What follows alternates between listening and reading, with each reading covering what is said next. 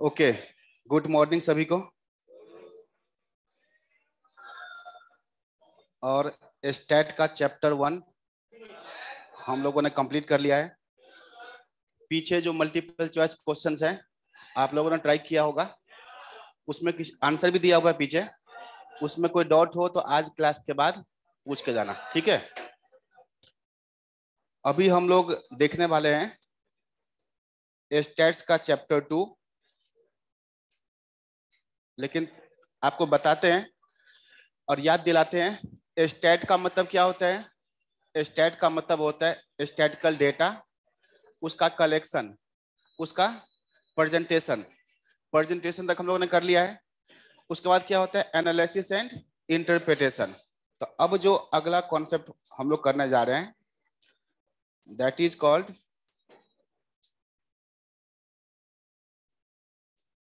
analysis and interpretation तो साथ साथ होगा।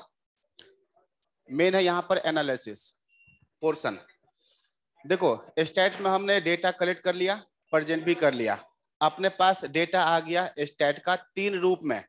Individual series discrete series continuous series ठीक है, तीन रूप में आ गया।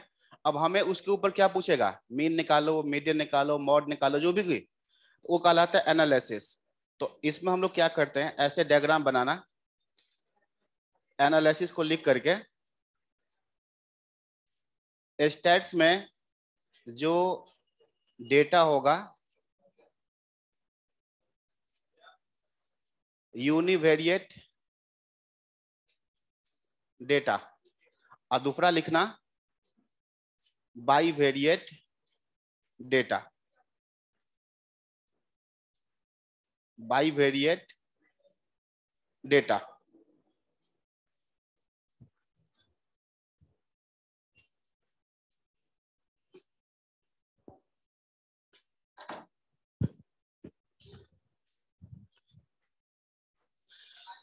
देखो हाँ हम लोग जो देखने जा रहे हैं बेसिकली क्या देखने जा रहे हैं? Analysis of analysis of data data collection कर लिया प्रेजेंट कर दिया, उसके ऊपर फर्दर स्टडी करना है। मैंने लिखा यूनिवेरिएट डेटा मतलब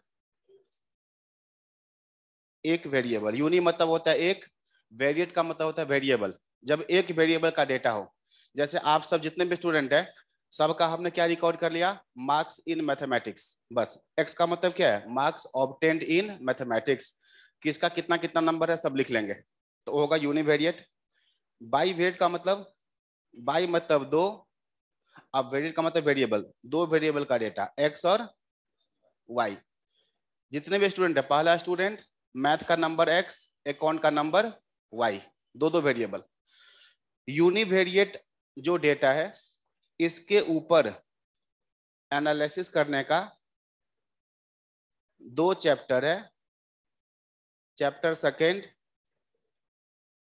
और चैप्टर थर्ड हम लोग चैप्टर वन पढ़ लिया अब तक। तो अब मैं आगे बताने जा रहा हूँ। अगर सिंगल वेरिएबल का डेटा है सिंगल वेरिएबल मान लो सबका हाइट है। तो इसके ऊपर एनालिसिस करने के लिए दो चैप्टर बना हुआ है chapter second chapter third second chapter में हम क्या पढ़ते हैं? एवरेज हाइट है तो एवरेज हाइट कितना? अब एवरेज बहुत तरह का होता है। Mean height median height modal height और सबका हाइट तो सेम नहीं होगा। किसी का ज़्यादा होगा, किसी का कम। तो उसको बोलते हैं वेरिएशन इन हाइट तो इसके ऊपर दो चैप्टर है। मैं शॉर्ट में लिखता हूँ। चैप्टर सेकेंड में क्या पढ़ना है? एवरेजेज और चैप्टर थर्ड में क्या पढ़ना है? वेरिएशन अगर सिंगल वेरिएबल का डेटा है एक्स तो एक्स का एवरेज क्या है? एक्स में वेरिएशन क्या है? मान लो सबका हाइट आ गया। एवरेज हाइट क्या है? हाइट में वेरिएशन क्या है? तो चैप्टर सेकंड में पढ़ेंगे एवरेज थर्ड में क्या पढ़ेंगे? वेरिएशन मान लो कि सबका इनकम बहुत सारे लोग है मंथली इनकम तो एवरेज मंथली इनकम क्या है? और वेरिएशन इन मंथली इनकम क्या है? मान लो सबका इनकम लगभग आसपास है तो कम वेरिएशन है। किसी का इनकम बहुत ज़्यादा है, किसी का इनकम बहुत कम है। इसका मतलब बहुत ज़्यादा वेरिएशन है। मान लो मार्क्स की बात है तो हम क्या निकालेंगे? एवरेज मार्क्स एवरेज मान लो सबका एवरेज कितना निकला? पचास। अब बाई चांस मान लो, इसका भी पचास, इसका भी पचास, इसका भी पचास, सबका पचास ही है। तो बताओ मार्क्स में वेरिएशन क्या है? ज़ीरो कोई वेरिएशन नहीं है। लेकिन किसी का साठ है, किसी का चालीस है तो दो चीज़ निकलता है। तो सिंगल वेरिएबल है, उसके ऊपर आप दो तरह का एनालिसिस करोगे एवरेज और दूसरा वेरिएशन इसको डिटेल में हम लिखेंगे, आगे भी। और जो बाई वेरिएट है, इसके ऊपर एनालिसिस करने का चैप्टर नंबर है फोर मतलब अगला जो तीन चैप्टर आने वाला है, जिससे बीस क्वेश्चन आएँगे चैप्टर सेकेंड और थर्ड मिला के पंद्रह। और चैप्टर फोर से कम से कम पाँच। तो इस पोर्शन से बीस नंबर के क्वेश्चन आएँगे। तो चैप्टर सेकेंड थर्ड फोर का मैं बैकग्राउंड बता देता हूँ। चैप्टर फोर का नाम है। जब दो वेरिएबल होता है ना तो उसके बीच में हम क्या स्टडी करते हैं? रिलेशन कोरिलेशन बोलते हैं उसको। जैसे बताओ प्राइस में और डिमांड में क्या रिलेशन होता है? प्राइस में और डिमांड में क्या होता है रिलेशन पॉजिटिव की निगेटिव है प्राइस और डिमांड में निगेटिव ओके यही सब सीखेंगे। और निगेटिव है तो हर कमोडिटी का जो निगेटिविटी होगा, एक जैसा नहीं होगा। कहीं पर ज़्यादा निगेटिव कहीं पर तो इसको बोलते हैं कोरिलेशन का स्टडी करना। अच्छा अगले साल प्राइस होगा पचास रुपया। इस साल मान लो कौन सा चल रहा है? 2022 के अंत समय आ गया है, मान लो दिसंबर आ जाएगा तो हम लोग क्या डिसाइड करते हैं? इस साल तो जो हो गया हो गया। अगले साल प्राइस हम कितना रखेंगे? पचास रुपया। तो एस्टिमेट करो कि डिमांड कितना होगा। कैसे? पास्ट डेटा को लेके। आपके पास डेटा होगा। प्राइस डिमांड प्राइस डिमांड, दो वेरिएबल का डेटा होगा, पाँच साल, दस साल का डेटा होगा। अगले साल एक वेरिएबल गिवन है तो दूसरा वेरिएबल को एस्टिमेट करना। ये कहलाता है रिग्रेशन एनालिसिस। क्या कहलाता है? रिग्रेशन एनालिसिस, जिसको आप शायद इकोनॉमिक्स में नाम सुना होगा आपने, डिमांड फोरकास्टिंग। ये वही चीज़ है। तो जो चैप्टर फोर है, दो वेरिएबल के ऊपर डेटा होगा तो उसके बीच में रिलेशन क्या है? ये स्टडी करना, कोरिलेशन कहलाता है। एक वेरिएबल गिवन हो दूसरों को एस्टिमेट करना हो ये रिग्रेशन कहलाता है। तो डिटेल में तो हम पढ़ेंगे बाद में, फ़िलहाल बस नाम लिख देते हैं। तो चैप्टर फोर का नाम है correlation and regression analysis correlation and regression analysis रफली मैंने बता दिया कि रिलेशनशिप को स्टडी करेंगे तो कोरिलेशन एस्टिमेट करेंगे तो रिग्रेशन ये एवरेजेज वेरिएशन अब हमें जो पढ़ाई करना है, हम उस चीज़ को लेकर चल रहे हैं। चैप्टर कौन सा? सेकेंड सिंगल वेरिएबल होगा। इनकम होगा वेजेज होगा प्रॉफिट होगा मार्क्स होगा हाइट होगा, जो भी एक वेरिएबल है, उसका निकालना है एवरेज तो इस चैप्टर का जो नाम है, आपके बुक में जो मेन नाम है, उसका मेन नाम है measures of central tendency measures of central tendency या measures of averages central tendency या मेजर्स ऑफ़ एवरेजेज या इसको हम बोलते हैं average of first order average of first order या मेजर्स ऑफ़ कंसंट्रेटेड वैल्यू या मेजर्स ऑफ़ यूनिफॉर्म वैल्यू। एक ही चीज़ के अलग अलग नाम है। जैसे तुम्हारा नाम सिंगल थोड़े ना होगा, स्कूल का नाम कुछ और, घर का नाम चिंटू, ठीक है? तो जो भी है तो व्यक्ति वही है अलग अलग नाम होता है ना तो वो एक ही चीज़ है, उसके इतने सारे नाम है।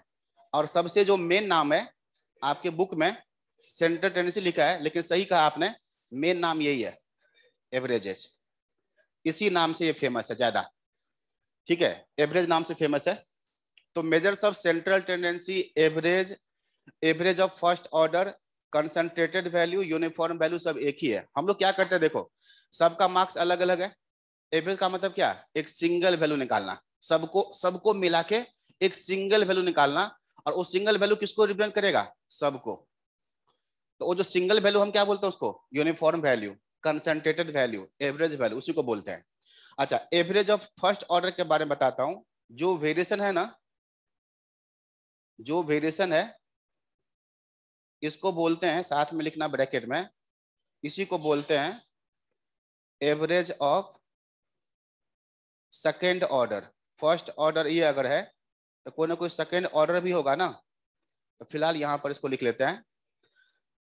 एवरेज ऑफ़ सेकेंड ऑर्डर मतलब आपको अगर वेरिएशन निकालना है ना तो आपको एवरेज पहले निकालना ही पड़ता है। बिना एवरेज निकाले वेरिएशन आप निकाल ही नहीं पाओगे। ठीक है, हम लोग क्या करते हैं पहले? एवरेज निकालते हैं। और फिर क्या निकालते हैं? एक्चुअल वैल्यू एवरेज से कितना ऊपर, कितना नीचे। उसी को बोलते हैं वेरिएशन इसीलिए यहाँ पर नाम दिया गया एवरेज को एवरेज ऑफ़ फ़र्स्ट ऑर्डर और वेरिएशन को नाम दिया एवरेज ऑफ़ सेकेंड ऑर्डर तो वेरिएशन के बहुत सारे नाम है। फ़िलहाल जब उसको पढ़ेंगे तब लिखेंगे। अभी हम लोग नाम बात करें एवरेज का। कंसेंट्रेटेड वैल्यू मान लो एवरेज कितना निकला? पचास। तो सभी वैल्यू पचास के पास होगा। फिफ्टी आ गया। एक्चुअल मार्क्स सबका अलग अलग है। लेकिन हम क्या बोल रहे हैं? लगभग सबका जो मार्क्स है, पचास है। लगभग बोल रहा हूँ ऑन एन एवरेज सब पचास है। फिफ्टी क्या हो गया? एक यूनिफॉर्म वैल्यू पचास एक्चुअल तो नहीं है बट हम क्या बोलते हैं? एवरेज निकालने के बाद कि ऑलमोस्ट सब पचास के आसपास है। फिफ्टी के आसपास है। तो फिफ्टी क्या हो गया? एक single value concentrated value uniform value ठीक है तो ये नाम हो गया। अब जो एवरेज है, जो एवरेज है, जो हमें पढ़ना है, इस चैप्टर के अंदर ये बच्चे दो तरह का होता है। ऐसे एरो लगाना दो तरह के एवरेज होते हैं। एक होता है मैथमेटिकल एवरेज दो तरह का एवरेज होगा। एक होगा मैथमेटिकल और दूसरा जो एवरेज है उसका नाम है positional positional average mathematical average positional average mathematical average में जो आपको पढ़ना है, उसमें तीन नाम है। अगर हम शॉर्ट में लिखे तो A M G M H M full form इसका ए एम का। Arithmetic mean arithmetic mean GM का फुल फॉर्म ज्योमेट्रिक मीन ये जीएम और इसका फुल फॉर्म है geometric mean. Yes geometric mean. और एच एम का मतलब है harmonic mean. Harmonic mean. Mathematical average में ये तीन नाम है। और जो पोजिशनल है इसमें कौन कौन सा नाम है देखो? तो इसमें एक नाम है, यहाँ मैं लिखता हूँ,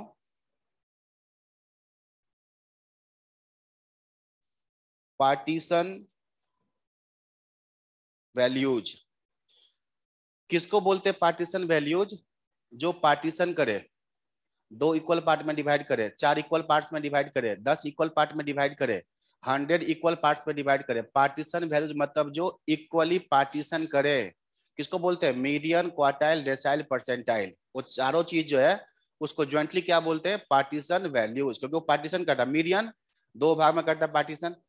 Quartiles, four equal parts में करता है पार्टीशन। तो पार्टीशन वैल्यू जो होता है, वो सब कहलाता है पोजिशनल मेज़रमेंट जिसमें नाम है मीडियन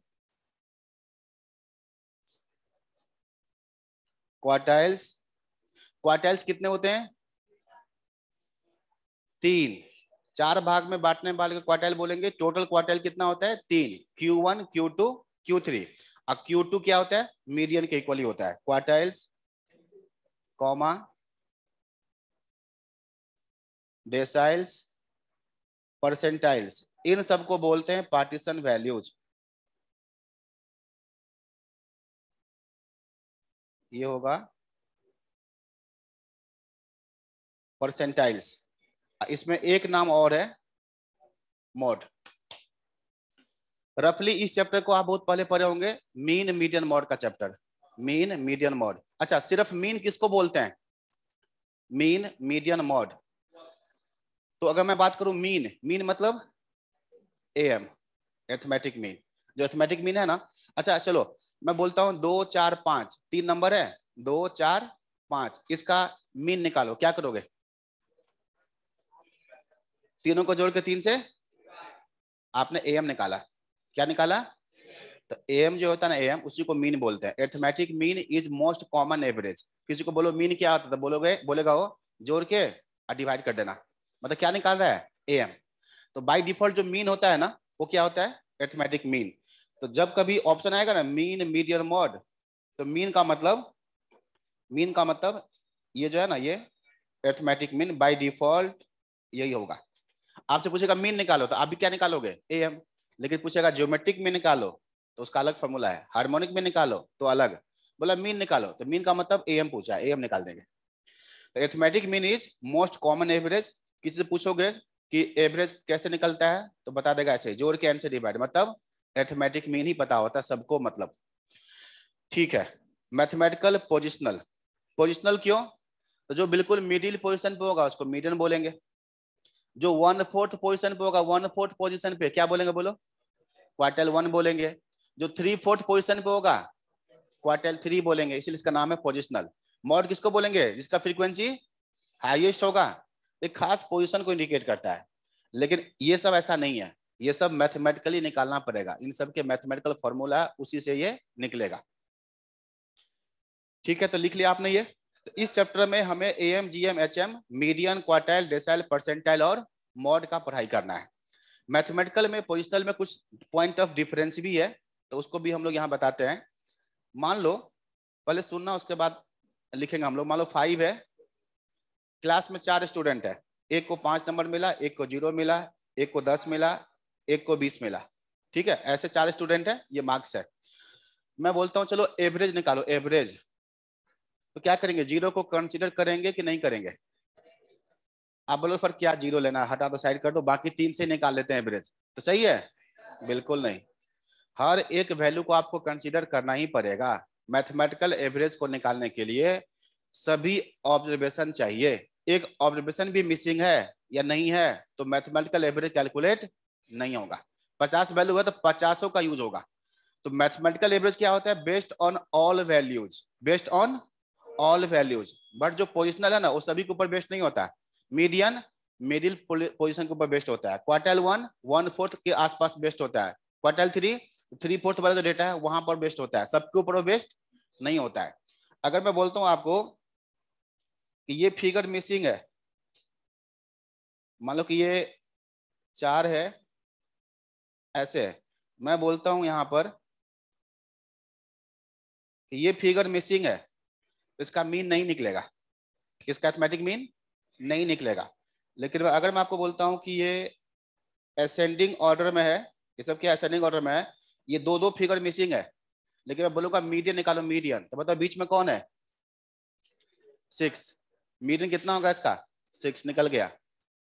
तो बात समझ रहे मतलब जो मीडियन है या जो पोजिशनल एवरेज है, वो सबके ऊपर बेस्ड नहीं है। कुछ वैल्यू नहीं भी है तभी वो निकल जाता है। लेकिन इसका एथमेटिक मीन नहीं निकलेगा। सबको जोड़ना है। कहाँ? दो दो वैल्यू नहीं है। तो मीन इसका नहीं निकलेगा। तो दोनों में क्या डिफरेंस है? पहला डिफरेंस मैथमेटिकल एवरेज कैलकुलेट करने में सभी वैल्यू चाहिए। तो शॉर्ट में इसको मैं लिखता हूँ। इसका मतलब क्या हुआ? अब क्या करोगे? ऐसे लाइन खींचो। लाइन के लेफ़्ट में क्या चीज़ है? मैथमेटिकल एवरेज राइट में क्या है? पोजिशनल तो इसमें आप लिखोगे पहला पॉइंट ये जो होता है ना mathematical average based on all values based on all values और यहाँ लिखो not based on all values बताओ, पहला पॉइंट समझ में आ गया? ये समझ में आ गया? एक बार और। इतना भी अच्छा नहीं है। मैंने क्या कहा? एवरेज निकालना हो A M G M H M तो सभी वैल्यू के ऊपर ये बेस्ड होता है। अगर 50 वैल्यू है तो पचासों वैल्यू यूज़ होता है कैलकुलेशन में। अगर एक वैल्यू भी मिसिंग है तो मैथमेटिकल एवरेज कैलकुलेट नहीं होगा। अभी एग्ज़ाम्पल देखा था आपने? दूसरा क्या बताया मैंने? जो पोजिशनल एवरेज है, वो किसी खास पोजिशन पे बेस्ड होता है। वो सभी वैल्यू के ऊपर बेस्ड नहीं होता है। जैसे अभी बताया था ना मीडियन दो दो वैल्यू नहीं था, लेकिन फिर भी मीडियन निकल गया। क्योंकि मीडियन कहाँ बेस्ड होता है? मिडिल पोजिशन पे। अब मिडिल वाला वैल्यू था कि नहीं? था। आगे आंसर ये मतलब है। अच्छा। दूसरा क्या है? दूसरा पॉइंट लिखोगे, जो आपको अपने आप ही समझ में आ जाएगा। Not not calculated not calculated not calculated graphically और यहाँ लिखो calculated calculated graphically second point बताओ।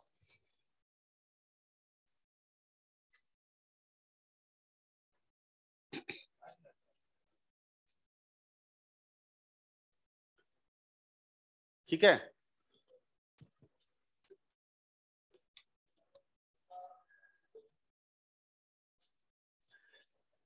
क्या, कोई दिक्कत है? ओके। सेकेंड पॉइंट समझ में आ गया? ध्यान से बताओ, जो पोजिशनल एवरेज है कैलकुलेटर ग्राफिकली ये बताओ पार्टीशन वैल्यूज़ पार्टीशन वैल्यूज़ किस ग्राफ से आता है? मीडियन क्वार्टाइल डेसाइल परसेंटाइल किस ग्राफ से? ओजाइब से स्पेशली कौन सा ओजाइब? लेफ़्ट हैंड ओजाइब। मॉड किससे आता है? मॉड। हिस्टोग्राम से देख लो। जितने भी ये वैल्यू है पोजिशनल सब ग्राफ से निकलता है। लेकिन A M G M H M कभी ग्राफ से नहीं निकलता। तो सेकेंड पॉइंट ये आ गया। अब ये सब क्वेश्चन पूछा गया एग्ज़ाम में। कैसे पूछेगा?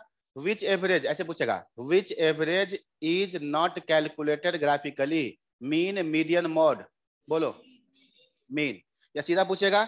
Which average is calculated graphically mean median mode last option क्या दिया जाएगा? मीडियन एंड मॉड क्या बोलोगे? Median and mode calculated graphical ये क्वेश्चन जो आएगा तो आप अपने आप बना दोगे। बस ये लिखते जाओ। इसके बाद ये पॉइंट लिखते हैं।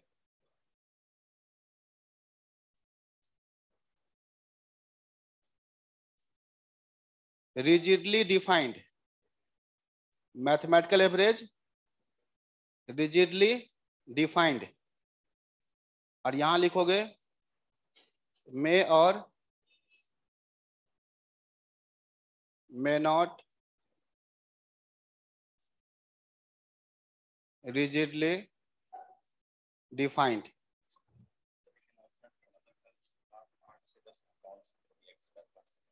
कल आपका आठ से दस एक्स्ट्रा क्लास है अकाउंट का। ठीक है? सिर्फ़ अकाउंट किया क्या? कल एक्स्ट्रा क्लास है अकाउंट्स का आठ से लेके दस बजे तक। ठीक?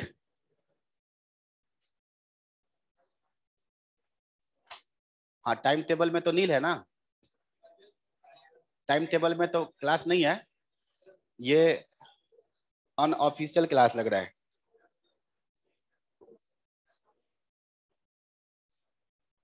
सुनो। रिजिडली डिफाइंड किसको बोलेंगे?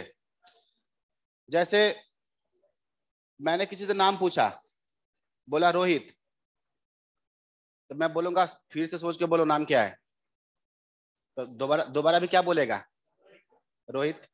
अब किसी का नाम रोहित है तो अलग बात है, मैं एग्जांपल दे रहा हूँ।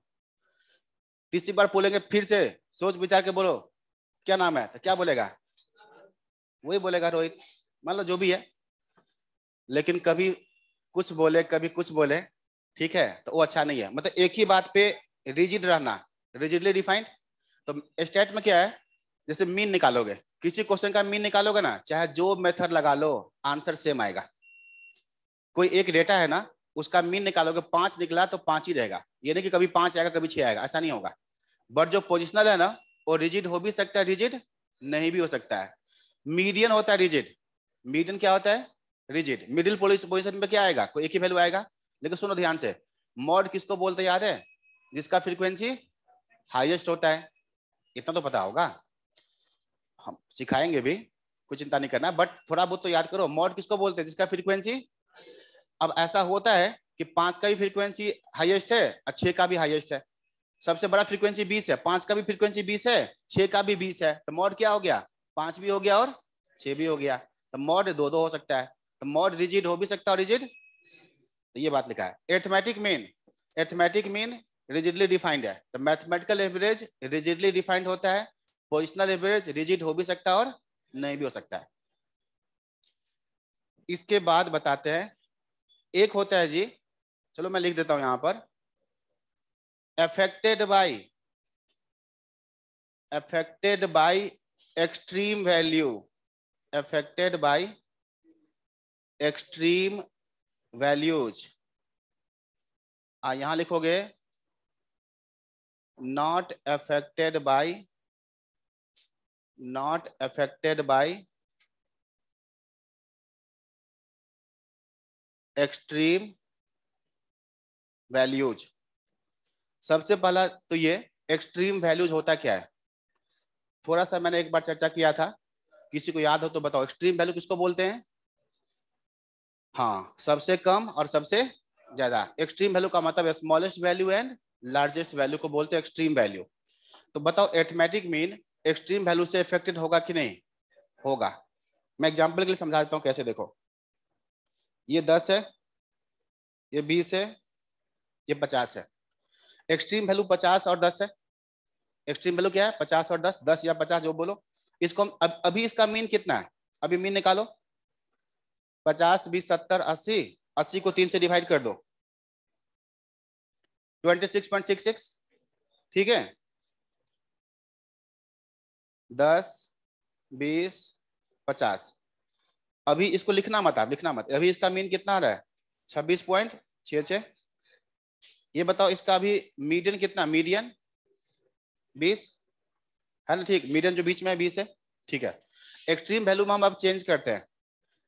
इसको और एक्सट्रीम कर देते हैं। इसको और एक्सट्रीम कर देते हैं। इसको कर दिया पाँच, इसको बना दिया साठ। अब बताओ, अब मीडियन कितना? बीस। अब मीन निकालो। मीन कितना?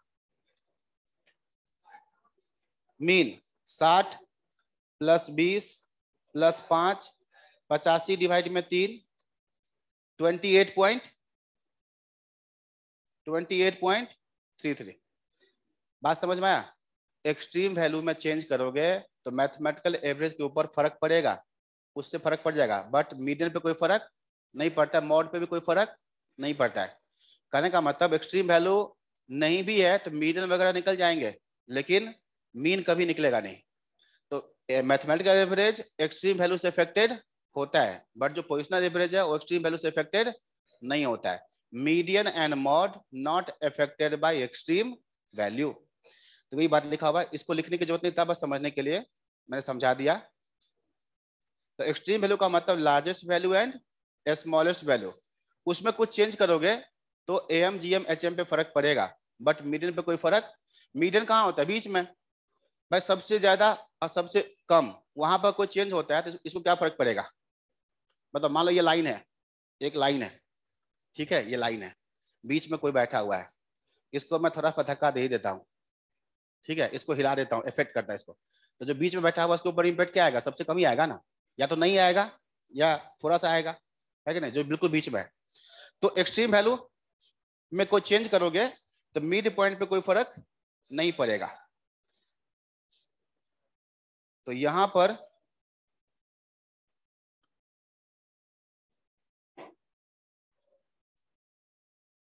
यहाँ पर मीडियन और मोड के ऊपर एक्सट्रीम वैल्यू का फ़र्क नहीं पड़ेगा, लेकिन एक चीज़ मैं यहाँ पर टिक करता हूँ मीडियन पे टिक करना। अब मैं क्वेश्चन पूछ रहा हूँ which average is affected by extreme value mean median mode तो क्या होगा आंसर मीन ठीक है? अब सुना ध्यान से। Which average is not affected by extreme value mean median mode last में मीडियन एंड मोड ठीक है? अब सुना last which average is not affected by extreme value? Mean, median mode none of these. अब आपको मीडियन और mod में से चूज़ करना है। नन ऑफ़ दिस कब होगा पता है? जब ए नहीं होगा बी नहीं होगा सी नहीं होगा, तब होता है नन ऑफ़ दिस ना? नन ऑफ़ दिस का मतलब क्या? इनमें से कोई नहीं। तो मैं बोल रहा हूँ, कौन सा एवरेज के ऊपर एक्सट्रीम वैल्यू का इफ़ेक्ट नहीं होता है? तो ऑप्शन ए है मीन इसमें तो होता है। दूसरा ऑप्शन है मीडियन तो सही है, ये होगा आंसर तीसरा है मॉड ये भी सही है, ये भी आंसर होगा। जब बी होगा और सी होगा तो फिर नन ऑफ़ दिस क्यों होगा? अब बी और सी में से कोई एक चूज़ करना तो क्या चूज़ करोगे? मीडियन टिक लगा हुआ इसके ऊपर, इसका मतलब यही है। क्योंकि मीडियन जो है ना, बिल्कुल बीच में होता है। एग्जैक्टली exactly बीच में होता है तो मीडियन निकल जाएगा। हो सकता है कभी कभी उस केस में मॉड ना निकले। मान लो जैसे मैंने क्या कहा, ये देखो असेंडिंग ऑर्डर में, ध्यान पर देखना। ये सब क्या है? असेंडिंग ऑर्डर में इसका मीन तो बिल्कुल नहीं निकलेगा। इसका मीडियन कितना होगा? मीडियन। टेन पक्का इसका मॉड क्या होगा? अब मॉड निकल भी सकता है, नहीं भी निकल सकता है। क्या पता सबसे बड़ा वैल्यू जो है, जो नहीं मालूम है, वो बीस हो। बीफ दो बार हो तो बीस हो सकता है। बात समझ रहे यहाँ पर एसेंडिंग ऑर्डर में ये बीस है ना, इसके बाद ये बीस हो सकता है। बीस बीस इक्वल होता है इक्वल भी होता है। तो हमें ये नहीं पता है ना तो इसका मॉड निकालना मुश्किल है। तो मीडियन और मॉड में से कोई चूज़ करना हो एक, कि भाई, किसके ऊपर सही में एकदम नहीं फ़र्क पड़ता है तो क्या होगा इसका आंसर मीडियन होगा। इसीलिए ध्यान रखना। तो ये चॉइस के ऊपर है तो मीडियन पे टिक लगा लो, और इस टिक का मतलब आप ही समझोगे। दूसरा कोई देख के नहीं, दूसरा कोई देख के नहीं समझेगा। इस टिक का क्या मतलब है? या फिर टिक नहीं लगाना है तो स्टार लगा लो। स्टार लगा दे लो कंडीशन अप्लाई इसका मतलब क्या है? स्टार मतलब मॉड और मीडियन और मॉड में अगर चूज़ करना हो तो क्या चूज़ करोगे? मीडियन तो एक्सट्रीम वैल्यू से ऊपर कोई फ़र्क नहीं पड़ता। और एक लास्ट पॉइंट लिखते हैं। लास्ट पॉइंट एक लिखते हैं, जिसका नाम क्या देखो? पहले समझा देते हैं। इसका नाम है combined measures property combined measures property जैसे मान लो हमने क्या किया? इस साइड वाले का एवरेज अलग निकाला, जो स्टूडेंट है। उधर का एवरेज अलग निकाला। तो क्या ऐसा कोई तरीका है कि पूरे दोनों को मिला दें, पूरे क्लास का एवरेज निकल जाए? तो मैथमेटिकल एवरेज जो है ना मैथमेटिकल एवरेज वहाँ पर ऐसा संभव है। कंबाइंड एम निकालते हैं कंबाइंड जीएम निकालते हैं कंबाइंड एचएम निकालते हैं। दो अलग अलग ग्रुप है, दोनों में कितने कितने लोग हैं और उसका एवरेज कितना कितना मालूम है ना? तो दोनों को आप कंबाइन कर दोगे ना तो पूरे क्लास का क्या एवरेज होगा, वो निकल जाता है, उसका फॉर्मूला है। बट कंबाइंड मीडियन का नाम नहीं सुना होगा आपने कभी, होता भी नहीं है। कंबाइंड मीडियन कंबाइंड मॉड होता ही नहीं है। तो यहाँ पर, जो फ़र्स्ट पॉइंट है, यहाँ पर क्या है? कंबाइंड मेजर्स जो चीज़ मैं यहाँ लिखा रहा हूँ, यही सब चीज़ हम लोग आगे देखने वाले भी हैं। Combined measures property combined measures property is applied ये यहाँ पर अप्लाई होता है। और यहाँ क्या लिखोगे? नॉट अप्लाइड मतलब कंबाइंड मीडियम नाम का दुनिया में कोई चीज़ नहीं होता कंबाइंड मॉड नाम का कोई चीज़ नहीं होता है। नॉट अप्लाइड क्या कर रहे हो? Combined measures property is applied अब ये जो कंबाइंड मेजर्स प्रॉपर्टी है, इसके कुछ और भी नाम है, इसको भी लिख लो। इसी को हम क्या बोलते हैं? P double O L E D pooled measures property pooled measures एक ही बात है combined measures pooled measures property इसी को बोलते हैं, इसी को हम बोलते हैं एक और नाम से desirable mathematical property desirable mathematical property कहाँ अप्लाई होगा? मैथमेटिकल एवरेज में। तो डिजायरेबल मैथमेटिकल प्रॉपर्टी किसको बोलेंगे? कंबाइंड मेजर्स प्रॉपर्टी को मैथमेटिकल प्रॉपर्टी बोलते हैं, और ये मैथमेटिकल प्रॉपर्टी कहाँ अप्लाई होगा? मैथमेटिकल एवरेज में एम में जीएम में एचएम में।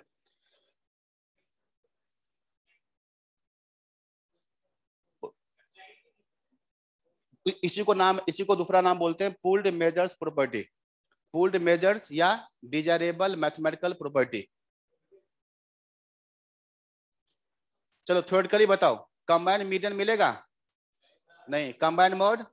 नहीं, combined GM? Yes combined HM? और कंबाइंड एएम? बस, थ्योरेटिकली समझ में आपको आ गया। और प्रैक्टिकली कैसे निकलेगा, वो देखेंगे। पहले पढ़ाई करेंगे, उसके बाद ही देखेंगे। तो ये सब कुछ थ्योरेटिकल क्वेश्चंस हैं। जो बिल्कुल आ जाएगा तो आप आसानी से बना दोगे। अब हम लोग वन बाय वन कैसे पढ़ाई करेंगे देखो। ए एम निकालेंगे, उसका प्रॉपर्टी सीखेंगे। जीएम निकालेंगे, उसका प्रॉपर्टी एचएम निकालेंगे, उसका प्रॉपर्टी फिर A M G M H M में कुछ रिलेशन होता है, उसको निकालेंगे।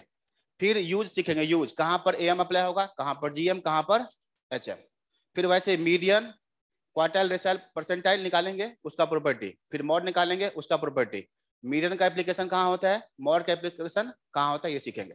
सब एवरेज ही है, लेकिन कहीं पर एवरेज मीडियन होता है, कहीं पर एवरेज मॉड होता है, कहीं पर एवरेज ईएम होता है, कहीं एवरेज एचएम होता है। तो कैलकुलेशन भी सीखेंगे एप्लीकेशन भी सीखेंगे। तो लिखते हम लोग हेडिंग एर्थमेटिक मीन से। ठीक है? यहाँ पर हेडिंग दे दीजिए। एर्थमेटिक मीन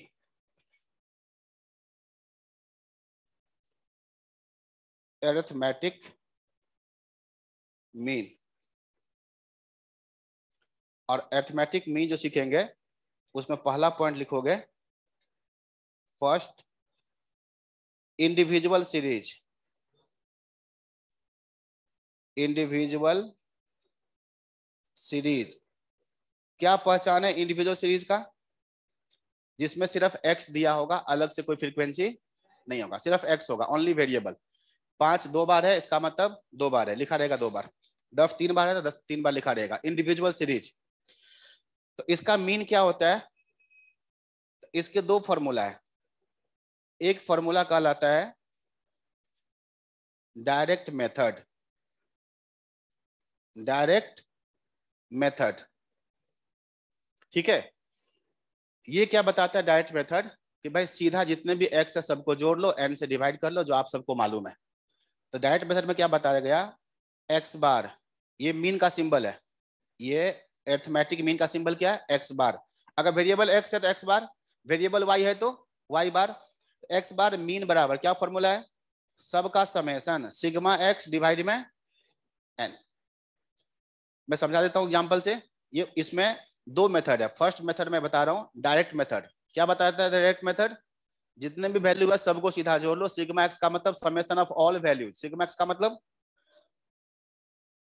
सिग्मा एक्स को हम क्या पढ़ेंगे?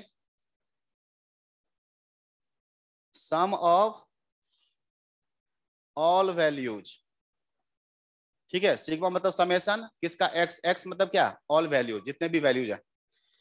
एग्ज़ाम्पल के लिए? एग्ज़ाम्पल के लिए मान लो ये एक्स है। Four eight ten, six. ठीक है? तो कोई पूछा, बताओ, ये कैसा सीरीज़ है?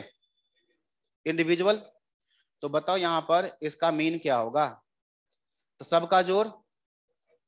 Four plus eight plus ten plus six divide में फोर कितना आ गया? आठ, चार, बारह, बाईस, अट्ठाईस, कितना? सेवन सीधा है डायरेक्ट मेथड मतलब सीधा जोड़ लो एन से डिवाइड इसमें एक और मेथड है, जिसका नाम है एज्यूम्ड मीन मेथड या डेविएशन मेथड ये हो गया डायरेक्ट मेथड दूसरा मैं लिख रहा हूँ assumed mean method assumed mean method ठीक है? ये क्या बताता है मेथड कि जो भी नंबर्स हैं, चार, आठ छ दस, इन सब में से किसी एक को एज्यूम कर लो कि मीन है। जो आप एज्यूम करोगे ना, इससे हट के भी कर सकते हो। आप अपने मन से भी कुछ कर सकते हो। कुछ भी आप एज्यूम कर सकते हैं। अच्छा क्या होता है? इसी में से कोई एज्यूम कर लो। ठीक है? तो हम लोगों ने एज्यूम कर लिया। लेट करो। ए बराबर। ए है एज्यूम्ड मीन किसको जूम कर लेते हैं? एट को। एट इसका मीन है। कुछ भी कर सकते हो जूम ठीक है? आंसर सेम ही आएगा। एट को जूम कर लिया। अब हम लोग क्या करेंगे? डी निकालेंगे। डी क्या चीज़ है? जितने भी एक्स है, सब में से एज्यूम मीन को माइनस करेंगे। जब हम जितने भी एक्स है, सब में से एज्यूम मीन को माइनस करते हैं तो बताओ ये वैल्यू क्या क्या आएगा? यहाँ देखे बताओ। फोर में से आठ माइनस माइनस चार, कॉमा, आठ माइनस आठ, ज़ीरो, दस माइनस आठ, छ माइनस आठ। साइन चेक करना सही है? पहले एक्स अब माइनस ए तो जो एक्स है, सब में से एजूम इन एट माइनस कर दो। या या डी अब इस डी को क्या पढ़ते हैं? ये मैं लिख रहा हूँ। Diff D is called deviation D deviations ये डी क्या कहलाएगा? Deviations from deviations from A assume in D को क्या बोलते हैं? डेविएशन जब भी एक्स में से आप कुछ माइनस करोगे स्टेट में या कहीं भी एक्स में से कुछ माइनस करोगे तो हम क्या बोलते हैं उसको? डेविएशन बोलते हैं। क्या माइनस कर रहे हैं? एज्यूमिन तो बोलेंगे इसको डेविएशन फ्रॉम एज्यूमिन तो जितने भी एक्स है, अगर आप सब में से कोई नंबर माइनस करोगे तो उसको हम क्या नाम देंगे? डेविएशन मान लो सब में से पाँच माइनस किया तो क्या बोलेंगे? डेविएशन फ्रॉम फाइव मतलब डिफरेंस फ्रॉम फाइव ठीक है? सब में से छह माइनस करेंगे तो क्या बोलेंगे? डेविएशन फ्रॉम सिक्स ऐसे। ये हो गया डेविएशन फ्रॉम एट या एज्यूमिन फिर हम लोग क्या निकालेंगे? Sum of deviation in deviation का ज़ोर सम ऑफ़ डेविएशन इसको निकालेंगे। क्या मिला समेशन बताओ। इसको पढ़ेंगे हम लोग इसको पढ़ेंगे? Sum of sum of deviations क्या मिला? माइनस फोर सही है देखो। ये plus two minus two cut गया तो माइनस फोर बचा। ठीक है? और फिर इतना करने के बाद हम लोग एक्चुअल मीन निकालने के लिए फॉर्मूला अप्लाई करते हैं। ये फॉर्मूला है। एक्चुअल मीन बराबर। Assume mean plus sigma D sum of deviation divide में एन ये एक्चुअल मीन निकालने का फॉर्मूला है, जिसमें हम लोग एज्यूम मीन की जगह क्या रखेंगे? एट एज्यूम मीन एट है, sigma D. Sigma D minus four N N कितना? फोर तो एट अब फोर बाय फोर करोगे तो माइनस वन क्या आ गया आंसर आंसर तो वही आएगा सेवन रिजिड है। रिजिड मतलब कुछ भी करोगे आंसर तो वही आएगा। बदलेगा नहीं।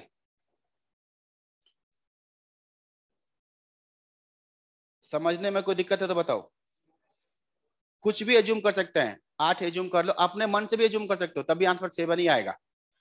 दोनों मेथड में कौन सा मेथड अच्छा लगा?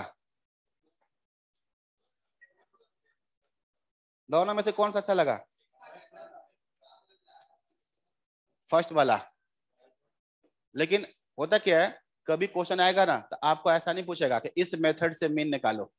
पूछने वाला को भी पता होगा कि कोई उस मेथड से नहीं निकालेगा, सब सीधा ही निकाल देगा। तो क्या होगा क्वेश्चन ऐसे देगा ना आपके सामने, अगर आपको सेकेंड मेथड नहीं पता हो ना तो फिर आप क्वेश्चन नहीं कर पाओगे। तो सेकेंड मेथड का क्या इंपॉर्टेंस है, मैं आपको एग्ज़ाम्पल से समझाता हूँ। मेथड तो ठीक है, समझ में आ गया। देखो क्वेश्चन क्या है। एक क्वेश्चन में लिख रहा हूँ यहाँ पर। किसी बच्चे ने क्या लिखा है? अच्छा डायरेक्ट मेथड हाँ। बच्चे ने रिप्लाई दिया है कि डायरेक्ट मेथड अच्छा लगा और ये जेन्यून रिप्लाई है। कोई बोला दोनों ही अच्छा है? ये आप शायद ये थिंक करो सर की बात। दोनों मेथड बता रहे हैं, दोनों ही अच्छा होगा। सर बता रहे हैं तो अच्छा ही होगा दोनों ही। ये बात है। अगर सही में देखो, पूछोगे तो सब बोलेगा, सर पहला मेथड कितना सिंपल तो है? लेकिन दूसरे का भी इंपॉर्टेंस है। क्या इंपॉर्टेंस है? अभी समझो। ये देखो, यहाँ पर मैं लिख रहा हूँ। दो टाइप से मैं क्वेश्चन लिखूँगा। एन बराबर ten sigma X minus six equal to में फिफ्टीन और मैंने पूछा एक्स बार इक्वल टू कितना? एक्स बार इक्वल टू कितना? अब क्वेश्चन के लिखावट से थोड़ा सा आप समझो कि क्या लिखा हुआ है या क्या दिया हुआ है। एन दिया हुआ है, दस। बताओ एक्स में से सिक्स माइनस किया है सिक्स क्या चीज़ है? एज्यूम मीन एक्स में से सिक्स माइनस किया ना तो सिक्स क्या है? और एक्स माइनस सिक्स क्या है? डेविएशन एक्स माइनस सिक्स को हम क्या बोलते हैं? डी क्या दिया? सिग्मा डी तो आपको मीन चाहिए तो कौन सा मेथड से निकालोगे? सेकेंड मेथड से। फ़र्स्ट मेथड से निकलेगा ही नहीं। निकलेगा, लेकिन उसके लिए फिर कुछ और चाहिए। तो बताओ, इस क्वेश्चन के लिखावट को देखते आप क्या कहोगे? ये तो एक्स में से कुछ माइनस कर रहे हैं। ये तो डेबिफन चल रहा है। सिक्स माइनस कर रहे हैं सिक्स एज्यूम मीन है एक्स माइनस सिक्स क्या हो गया? डेविएशन डी ये तो सिग्मा डी दिया है। ये सब चीज़ दिमाग में तुरंत आएगा। ये तो सिग्मा डी दिया हुआ है, जहाँ पे ए हो गया सिक्स एन दिया हुआ है। सेकंड मेथड से मीन तुरंत निकाल देंगे। तो सेकंड मेथड का ये इंपॉर्टेंस है क्वेश्चन इस रूप में आएगा तो आप सेकंड मेथड से निकाल पाओगे। तो निकालो आंसर आप इसको देख के बोलोगे, ये तो एज्यूम मीन बराबर सिक्स हो गया। फिर एक्स माइनस सिक्स को हम लोग क्या बोलते हैं? डी बोलते हैं ना, जो एक्स में से कोई कांस्टेंट माइनस करते हैं डेविएशन होता है डी इसका मतलब हमें सिग्मा डी दिया हुआ कितना? माइनस पंद्रह और एक्चुअल मीन चाहिए तो assume mean plus sigma D by N six minus one point five answer is तो सेकेंड मेथड का क्या इंपॉर्टेंस है समझ में आ गया? अच्छा जो क्वेश्चन मैंने अभी आपके सामने लिखा है, इसका मैथमेटिकल रूप में लिखा है मैथमेटिकली इसी चीज़ को मैं स्टेटमेंट में बोल के भी लिख सकता हूँ। सेम चीज़ को ना, ये तो सिंबल में लिख दिया अभी। सेम टाइप का चीज़ हम स्टेटमेंट में भी बोल सकते हैं। एन बराबर टेन तो फिर क्या लिखेंगे? फोर टेन ऑब्जर्वेशन उसके बाद जो दिया है ना, उसको हम क्या पढ़ेंगे? Sum of deviation from six is minus fifteen मतलब इसी का, ये जो क्वेश्चन है, इस क्वेश्चन को कोई लैंग्वेज में भी लिख देगा तो एक ही बात है। कैसे लिखेगा? फॉर टेन ऑब्जर्वेशन अब हो सकता है वहाँ पर टेन की जगह टी एन लिखा हो टेन ठीक है? For ten observation comma sum of ये क्या चीज़ है? समेसन समेसन ऑफ़ डेविएशंस ये डेविएशंस का समेसन है। डेविएशंस फ्रॉम कहाँ से? सिक्स। इक्वल टू को बोलेंगे इज़ माइनस फिफ्टीन। तो क्वेश्चन पूछेगा, फाइंड एथमेटिक मीन। सेम चीज़ लिखा है, मैंने कुछ नया नहीं लिखा है। एकदम सेम चीज़ आप क्या कहोगे? टेन ऑब्जर्वेशन तो एन बराबर टेन हो गया। डेविएशन फ्रॉम सिक्स तो सिक्स क्या हो गया? A, assume mean. Sum of deviation मतलब sigma D. Sigma D is minus fifteen तो सिग्मा डी माइनस फिफ्टीन तो मीन कैसे निकालोगे? वही सेम चीज़। तो सिंबल में भी क्वेश्चन हो सकता है लैंग्वेज में भी क्वेश्चन हो सकता है। ठीक बात है? अच्छा कोई स्टूडेंट इसको फ़र्स्ट मेथड से बनाओ। फ़र्स्ट मेथड से। बन सकता है क्वेश्चन कब? जब आपको क्या मिल जाए? Sigma X. क्या मिल जाए? सिग्मा एक्स मिल गया तो उसको हम किससे डिवाइड कर देंगे? एन से। तो आ जाएगा आंसर अब मैं आपको बता रहा हूँ फ़र्स्ट मेथड से क्वेश्चन कैसे बनेगा? तो ये तो हो गया आपके सामने, ये हो गया मेथड टू से बना क्वेश्चन कोई इसी क्वेश्चन को मेथड वन से बनाओ। एन बराबर दिया है टेन और sigma X minus six equal to कितना दिया है?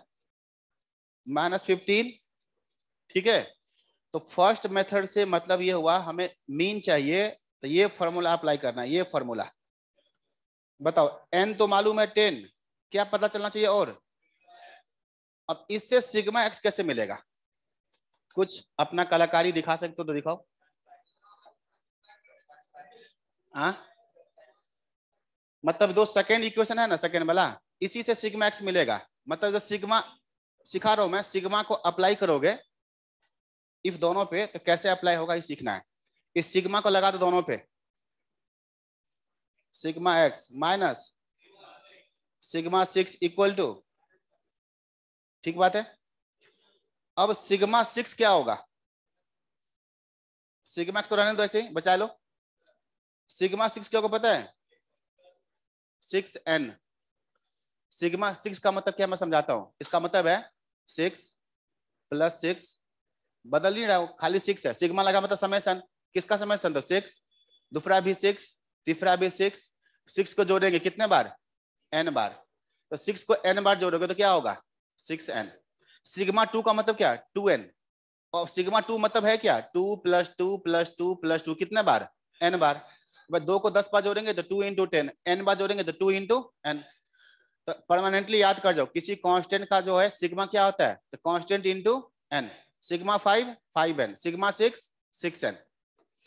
तो ये हो गया माइनस फिफ्टीन, और सिग्मा एक्स यहाँ पर एन मालूम है।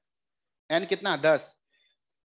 तो सिक्स इंटू में टेन, सिक्सटी माइनस फिफ्टीन, बताओ सिग्मा एक्स बराबर कितना? यस, माइनस फिफ्टीन प्लस में साठ, फोर्टी फाइव, यहाँ पर लाके फोर्टी फाइव रख दो। तो आंसर क्या आ गया? ये सब इतना रिहर्सल क्यों? हर तरह से आप तैयार हो रहे हो। ये सब चीज़ ज़रूरी है। कुछ नया तरीका से पूछेगा तो यही से पूछने का तरीका है। देखो, ये और बात है कि सारे क्वेश्चन रिपीट करता है। ऐसा भी हो सकता है कि पचास के बचा चालीस के चालीस क्वेश्चन नया हो। तब जैसे मैं पढ़ा रहा हूँ, ऐसे पढ़ोगे तब बनेगा। ठीक है? मतलब सब कुछ मैं बता रहा हूँ, इसको बस कंट्रोल करके रखोगे तब जब बन जाएगा। तो पूरा एनालिसिस करके, अब ऐसा क्वेश्चन आपको बुक में नहीं मिलेगा, लेकिन मान लो अब मैं आपके सामने कोई भी क्वेश्चन दे दिया तो इजिली आप उसका आंसर निकाल सकते हो। ठीक है? चलो, एक क्वेश्चन यहाँ लिखते हैं। एन बराबर टेन और सिग्मा?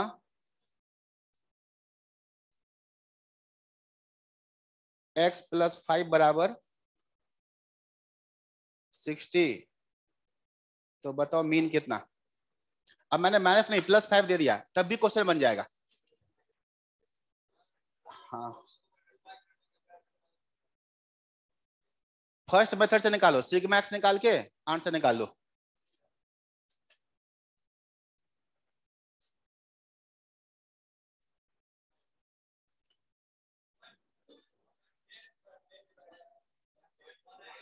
वन आएगा आंसर करेक्ट बिल्कुल सही। यहाँ से क्या निकला? सिग्मा एक्स प्लस कितना?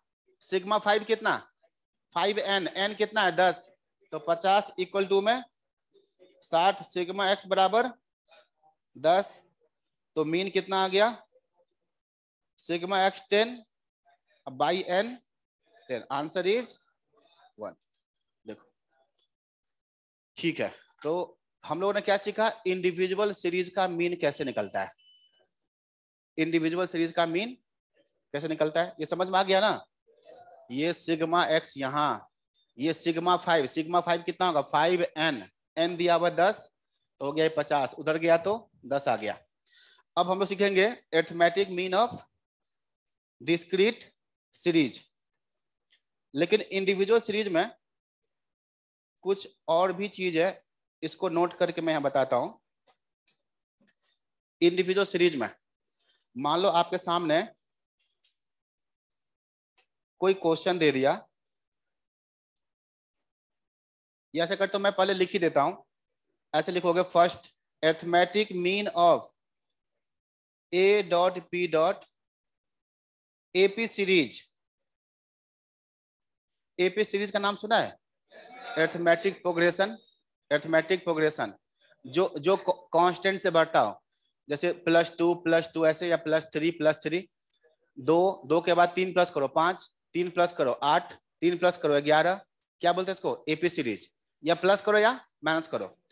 तो arithmetic mean of AP series क्या होता है पता है? ये मैं बता रहा हूँ, ये टेक्निक पता होना चाहिए। First plus last by two कहने का मतलब मैं एग्जांपल भी साथ में बता देता हूँ।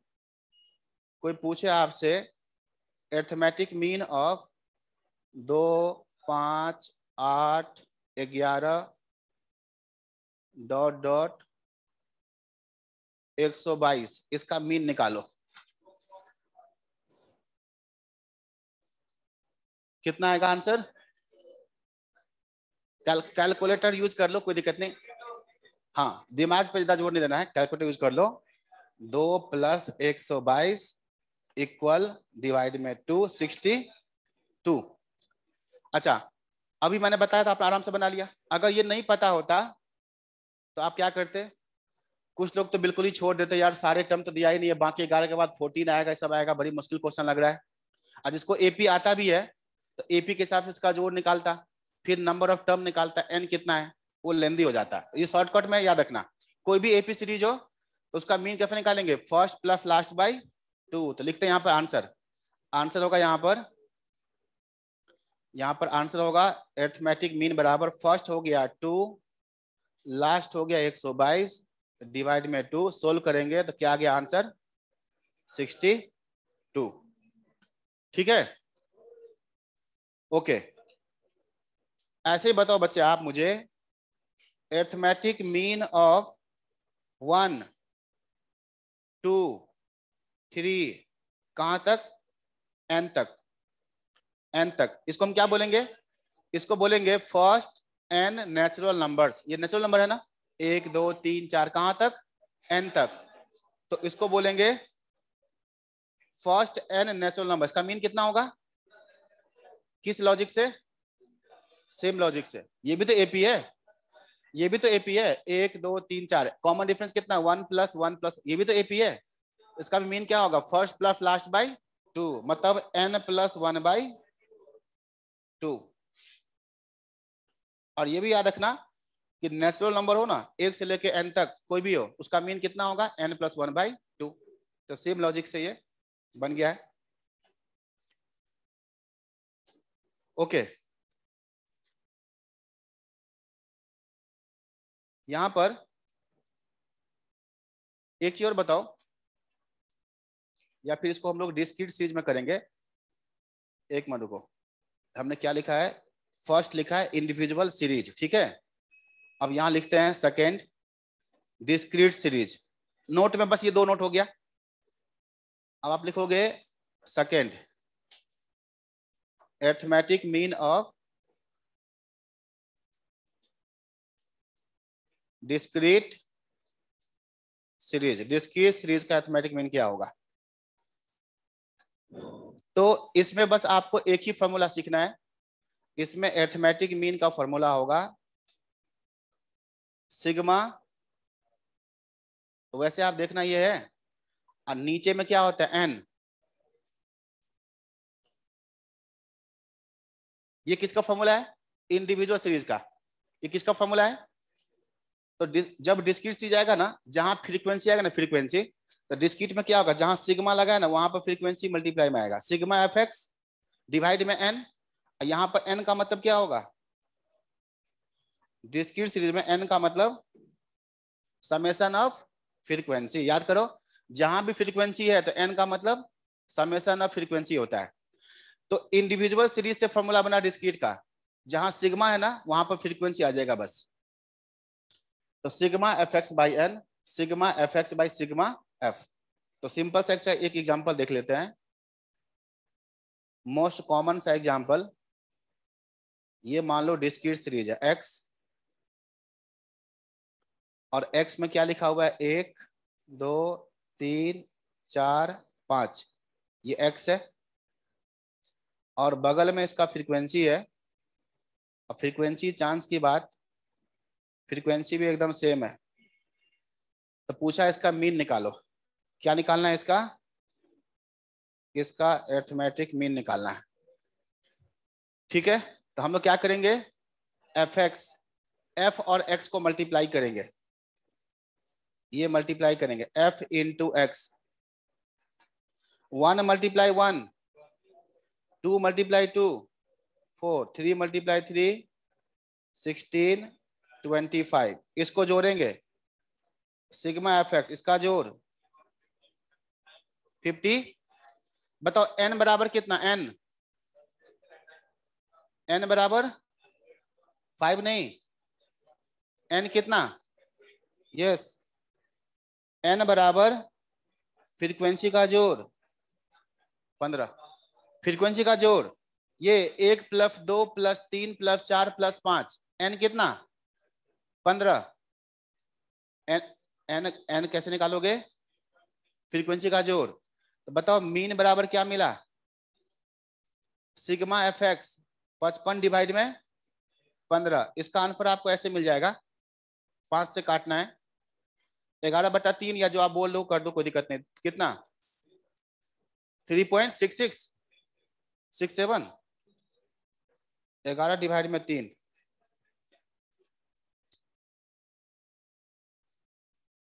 बोलो, क्या बोलो? एक्स और एफ़ हाँ। मतलब एक मिनट रुको। क्यों? ऐसा क्यों? एक मिनट एक मिनट। शायद आप अपने आप समझ जाओगे। ये ब्लू सर्कल दिख रहा है ना? ये क्वेश्चन है। इस पे कोई क्वेश्चन मार्क नहीं लगाओगे आप। जो ब्लू सर्कल में है ना एक्स दिया हुआ है एफ़ दिया हुआ है एथमेटिक मीन पूछा है। अब क्वेश्चन लिखने वाला का मर्ज़ी उसने क्या लिखा? हाँ वो तो मैंने लिख दिया है। तो जो ब्लू सर्कल में है ना, अब समझ में आ गया बात? वो क्वेश्चन है। हाँ बिल्कुल, कुछ भी हो सकता है। तो लिखने वाला का मर्ज़ी बाकी हम लोग कैलकुलेशन कैसे किए उस पर ध्यान दो। चांस की बात है कि सेम लिख दिया है। ठीक है, वो अलग अलग भी हो सकता है। ठीक है? ओके तो मीन कितना आ गया? थ्री पॉइंट सिक्स सिक्स अच्छा अलग भी हो सकता है, कोई दिक्कत नहीं, सही बात है। अलग भी हो सकता है। लेकिन जब सेम होता है ना, इसमें गलती होता है। जैसे हम पाँच तक लिख रहे हैं ना तो गलती क्या करते हैं? लोग एन बराबर पाँच ले लेते हैं। तो ये गलती नहीं करना, इसलिए मैं बता रहा हूँ ऐसा। जैसे एक से लेकर दस तक है ना लोग क्या करते हैं? गलती से एन बराबर दस लेते हैं। वो गलत हो जाता है। एन का मतलब जहाँ भी फ्रीक्वेंसी है तो एन का मतलब उसका समेसन होगा। अच्छा यहाँ पर भी एक नोट कर लो। लिख रहे थे इसको? अच्छा लिखो लिखो। मतलब डिस्क्रीट सीरीज़ में कोई अलग अलग फ्रीक्वेंसी दे दे, जो भी दे दे, आप एफ़ इंटू एक्स करना, उसको जोड़ लेना एन से डिवाइड कर देना। ठीक है? अब यहाँ पर मैं क्या बता रहा हूँ? ये क्वेश्चन देखो ध्यान से, ये क्वेश्चन एक से लेके पाँच तक है। किसी के मन में क्वेश्चन आ रहा होगा ये पाँच तक नहीं, पचास तक होता तो क्या करते? ये मल्टीप्लाई कैसे जोड़ते? तो इसका भी एक डिज़ाइन है एक फॉर्मूला है। तो मैं क्या कर रहा हूँ यहाँ पर? इस क्वेश्चन को मैं ऐसे लिख रहा हूँ। एक्स बराबर वन टू थ्री फोर कहाँ तक है ये? एन तक। और चांस की बात है frequency equal to the respective variable के इक्वल है फ्रीक्वेंसी ये। इसका पूछ लिया एथमेटिक मीन कितना है? ठीक है? तो इसका हम लोग क्या करते हैं? कैलकुलेशन करके निकाल लेते हैं। और आप लोग इसको याद रखोगे तो ज़्यादा अच्छा रहेगा। कैलकुलेशन कैसे होगा? तो ये देखो मीन बराबर होगा सिग्मा एफ़ एक्स डिवाइड में सिग्मा एफ़ ये होगा ना? फॉर्मूला अब बताओ सिग्मा एफ़ एक्स का मतलब क्या? One into one one square plus two into two two square three into three three square four into four four square कहाँ तक? N into n n square divide में. Sigma f f मतलब one plus two plus three plus four कहाँ तक? N तक. पहले इतना जो लिखा है मैंने, ये आपको समझ में आ गया होगा। मैं आपको दोबारा समझाता हूँ। फॉर्मूला जो, ये कौन सा सीरीज़ है पहले बताओ डिस्क्रीट एक्स और एफ़ फ्रीक्वेंसी है तो डिस्क्रीट सीरीज़ है। मीन का फॉर्मूला ये होता है। अब एफ़ एक्स का मतलब क्या है? इसका इसका मल्टीप्लाई सिग्मा मतलब उसका जोड़। तो ये मल्टीप्लाई करेगा वन स्क्वायर ये मल्टीप्लाई किया two square three square sigma मतलब उसका जोड़। क्या कर रहे हो? अलग से टाइम देंगे, हंसने के लिए, रुक जाओ। ठीक है? यहाँ समझो। इन सब का समेसन फ्रीक्वेंसी का जोड़ मतलब एक, दो, तीन सबका समेसन अब इसका समेसन का ना फॉर्मूला होता है। अब हो सकता है कि सबको फॉर्मूला नहीं पता हो, याद भी नहीं हो। नेचुरल नंबर का समेसन उसका स्क्वायर का समेसन और उसके क्यूब का समेसन ये चीज़ मैथ वाले पोर्शन में आप पढ़ोगे मैथ ये एक्चुअली कहाँ पर है? तो चैप्टर जो है ना एपीजीपी मैथ का जो पोर्शन है, वहाँ पर है। तो फ़िलहाल ये करना तो याद ही होता है। तो मैं यहाँ पर लिख देता हूँ। आप सब भी इसको अच्छे बच्चे की तरह याद कर जाओगे। तो समेसन का फॉर्मूला क्या होता है, देखो। ये जो स्क्वायर का समेसन है, पहले बताओ, नीचे बताओ सिंपल समेसन कितना आता है? ये फॉर्मूला आता है n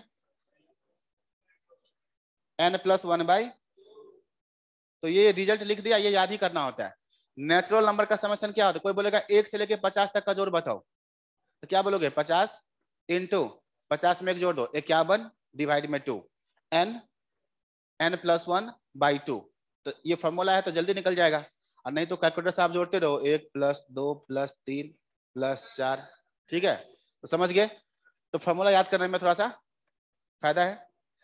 कोई चीज़ फास्ट तभी हो सकता है ना, जब चीज़ याद रहे। ठीक है, आता है तो निकालो। तो निकालो कैसे? तो सर, किताब से मैं फॉर्मूला देखूँगा, उसके बाद बनाऊँगा। ठीक है तो फिर दिक्कत होगा। ओके स्क्वायर का समेसन क्या होता है? स्क्वायर का समेसन होता है n n plus one two n plus one divide में सिक्स। तो ये दोनों रिज़ल्ट होता है। अब देखो, ऐसे करके हम बना रहे हैं तो इसमें टाइम लग रहा है। तो इसका हम क्या करेंगे? आंसर निकाल देंगे। और लास्ट में उसी रिज़ल्ट मतलब जब कोई ऐसा सीरीज़ हो जाए ना, जितना एक्स है, उतना ही फ्रीक्वेंसी है, और उसका मीन पूछे, एक से लेके बीस तक हो, चाहे एक से लेके पचास तक हो तो हम लोग कभी कोई डेरिवेशन नहीं करेंगे, सीधा फॉर्मूला में रख के आंसर निकाल देंगे। अब बताओ डिवाइड करने पे क्या होगा? कैंसिल कैसे होगा पता चल रहा है? देखो, ये कट गया। ये भी कट जाएगा तो यहाँ पर हम नहीं काट रहे हैं। ऊपर क्या बचेगा? Two n plus one. जो सिक्स है ना, दो से कटेगा तो नीचे क्या बचेगा? यही चीज़ आपको याद कर जाना है। क्या रिज़ल्ट है? Two n plus one by three.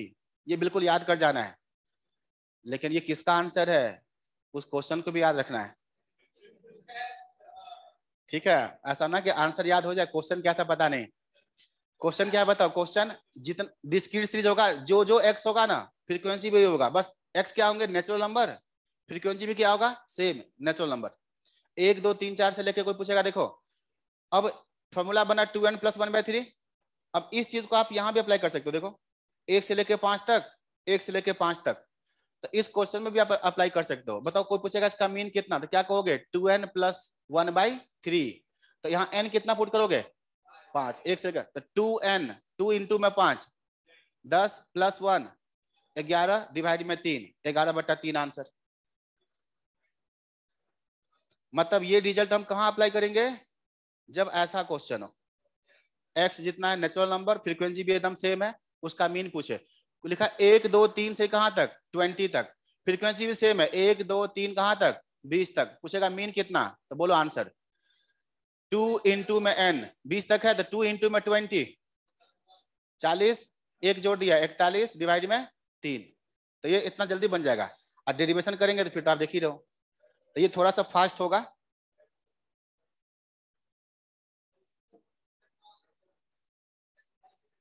हाँ? क्या चीज़? बोलो बोलो क्वेश्चन बोलो हाँ।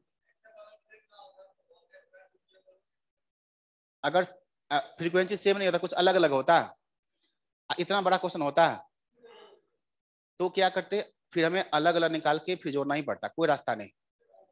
तो एग्ज़ाम में इतना बड़ा नहीं पूछेगा। कभी पूछेगा एग्ज़ाम में, अलग अलग फ्रीक्वेंसी रहेगा ना, अब तू ही बताओ ना, अगर एक्स दे दिया, मान लो बहुत बड़ा, अब फ्रीक्वेंसी दे दिया सबका अलग अलग, वो भी बहुत बड़ा, कोई टेक्निकी काम नहीं करेगा। ठीक है? या तो क्वेश्चन छोड़ देंगे। पूछेगा नहीं।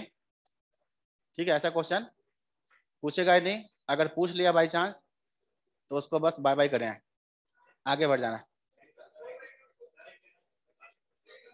अरे, मान लो क्वेश्चन ऐसे दे दिया। दो, पाँच, आठ, दस, पंद्रह, बीस, ऐसे करके बहुत फरा फ्रीक्वेंसी दे दिया अलग अलग बोलेगा, इसका मीन निकालो।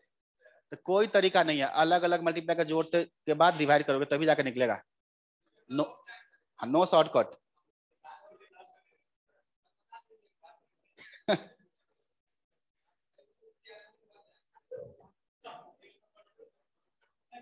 मैं बोल रहा हूँ कि दलदल में नहीं जाना तू बोला, नहीं सर, मुझे ठेल दीजिए। क्या करे? बता दीजिए के बाद मैं बोला नहीं जाना तो बोला, नहीं, ठेल दीजिए मुझे। अरे, ऐसे क्वेश्चन बिल्कुल नहीं पूछेगा। ठीक है? बाकी बाकी ये बता तो दिया। ये देखो ना, बता तो दिया।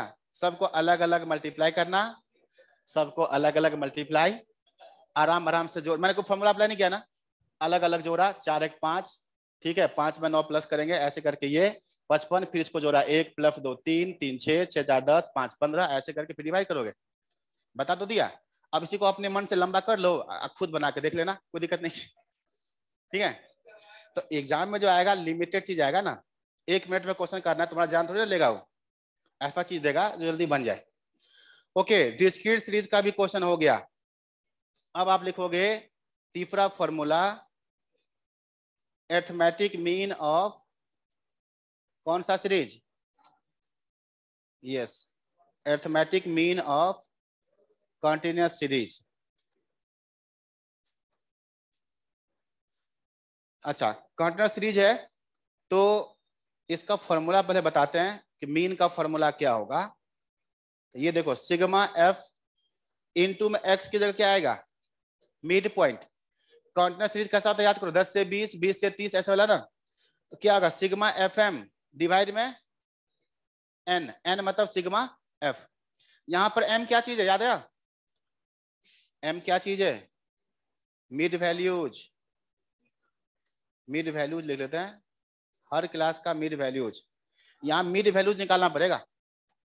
तो मैं आपको समझाने के लिए एक छोटा सा एग्ज़ाम्पल बताता हूँ और प्रैक्टिस के लिए बुक से हम लोग प्रैक्टिस कर लेंगे। देखो यहाँ पर। ये है दस से बीस। ये है बीस से चालीस। ये है चालीस से पचास। क्या ये कंटिन्यूस सीरीज़ है? है ना?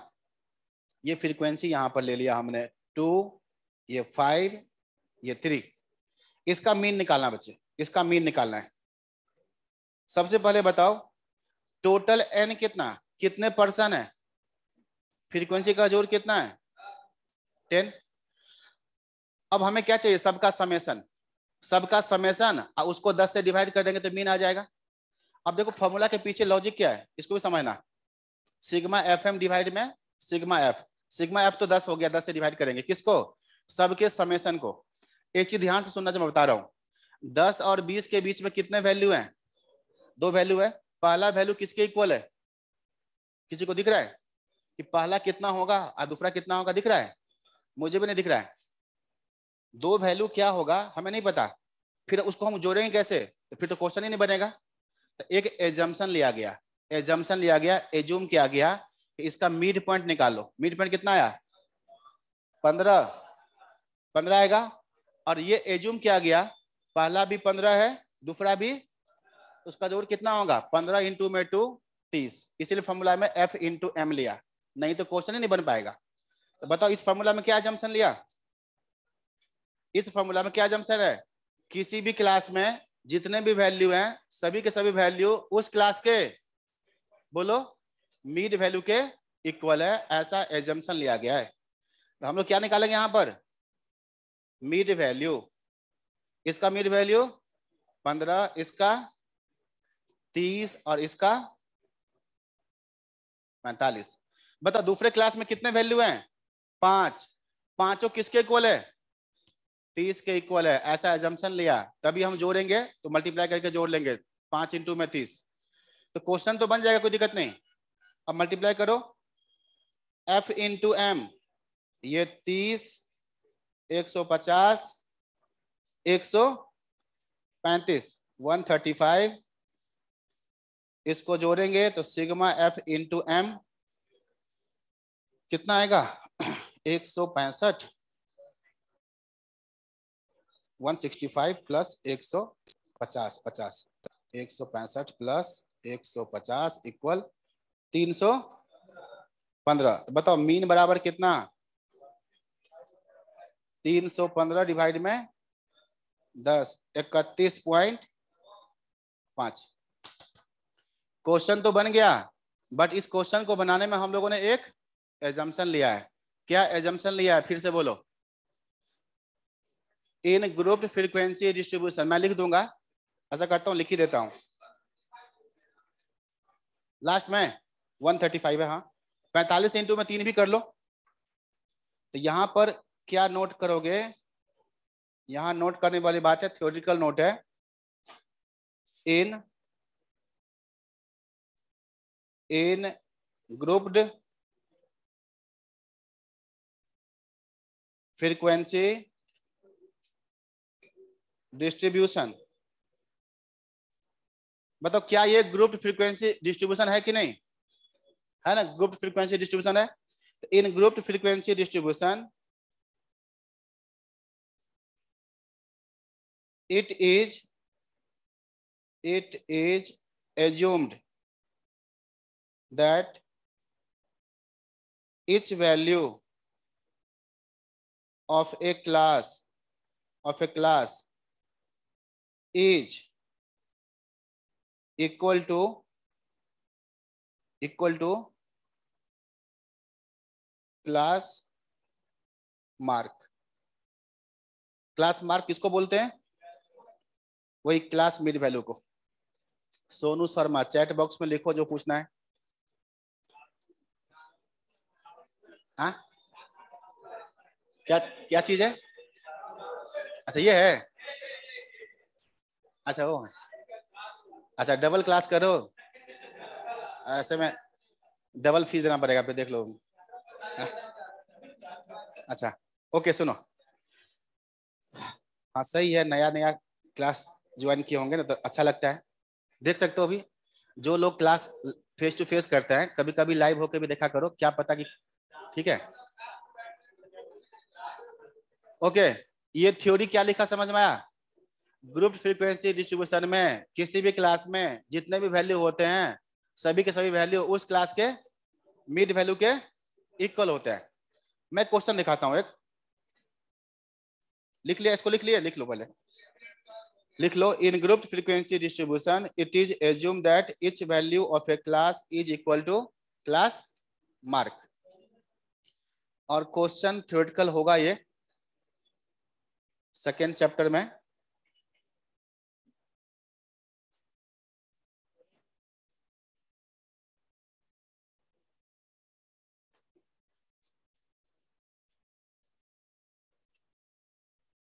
चलो मुझे आप बताओ। क्वेश्चन नंबर फोर्टी वन का आंसर क्या होगा? बोलो बच्चे। फोर्टी वन का आंसर क्या होगा?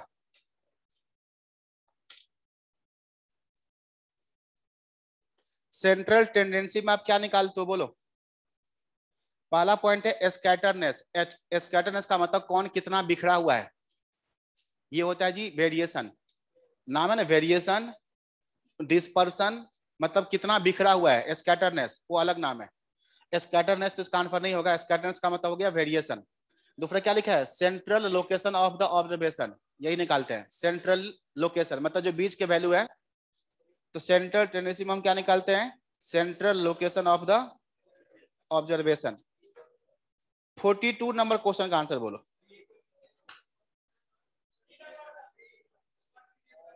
आ ठीक है? देखो वाइल कंप्यूटिंग एथमेटिक मीन किसमें? ग्रुप फ्रीक्वेंसी डिस्ट्रीब्यूशन में जो भी किया था वी एज्यूम क्या हम लोग एज्यूम करते हैं? क्लियर कौन सा option C all values of a class are equal to the mid value of that class एकदम सही है। ये जूम करते हैं। तो क्वेश्चन ऐसे आएगा आपके सामने। ठीक है?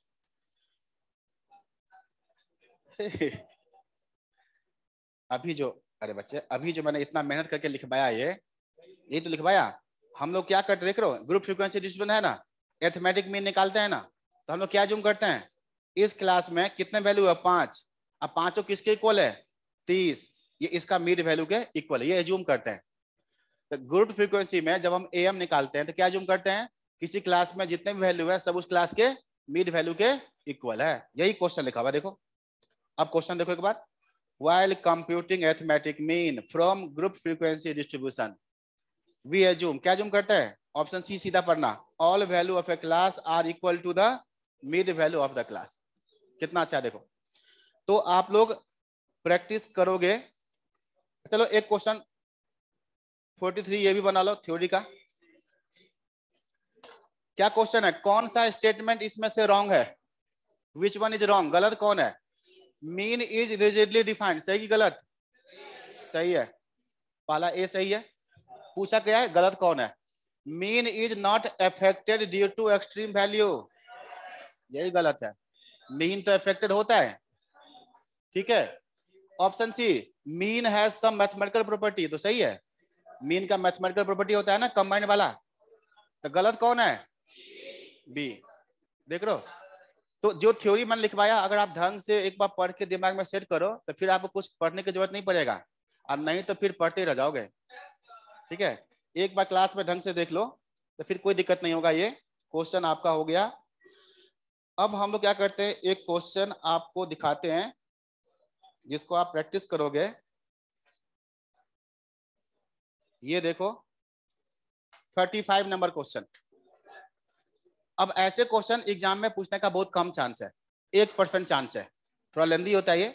कम चांस से क्वेश्चन नहीं आएँगे बट हम लोग प्रैक्टिस के लिए अभी कर लेंगे। कुछ ज़्यादा करके जाओगे तभी तो चांस ज़्यादा होगा करने का। क्या पूछा है? मीन निकालो और क्या निकालो? मीडियन सुनो एक मिनट। एग्ज़ाम में मान लो क्वेश्चन आ गया। मैंने आपको बताया कभी? अभी क्या बताया? मीन कौन सा? ये है। ग्रुप फ्रीक्वेंसी डिस्ट्रीब्यूशन मीन और मीडियन देखो, चारों ऑप्शन देखो। यहाँ मीन कितना है? तीस। यहाँ ये अलग ये अलग। सिर्फ़ हम मीन निकाल देंगे तो अपना फैसला हो जाएगा। बिना मीडियन निकाले भी क्वेश्चन बन जाएगा। तो हम लोग इसका सिर्फ़ मीन निकालते हैं। ये क्या लिखा है? फ्रीक्वेंसी यहाँ से क्या निकालेंगे? मिड वैल्यू मिड वैल्यू देखना, इसके बीच में गैप है क्या? गैप है। एक एक का गैप है। हमें क्या चाहिए? मिड वैल्यू याद करना मिड वैल्यू सीधा इससे भी निकल जाता है। मिड वैल्यू लिमिट का जोड़ बाई टू से भी आता है। और गैप खत्म करके बाउंड्री को जोड़ के दो से डिवाइड करते हैं, तभी सेम ही आता है। मैं जो बोल रहा हूँ, समझ में आ रहा है? जो सीधा मिड वैल्यू में इसको गैप खत्म करने की ज़रूरत नहीं है। बताओ इसका इसका मिड वैल्यू कितना आएगा? तो fourteen plus five nineteen by two nine point five अच्छा क्लास लेंथ कितना सबका? क्लास लेंथ कितना है? टेन टेन क्लास लेंथ किससे निकलता है? बाउंड्री से। क्लास लेंथ किसे निकलता है? बाउंड्री से। कोई नाइन बोल रहा है। नाइन नहीं है। क्या है इसका लेंथ?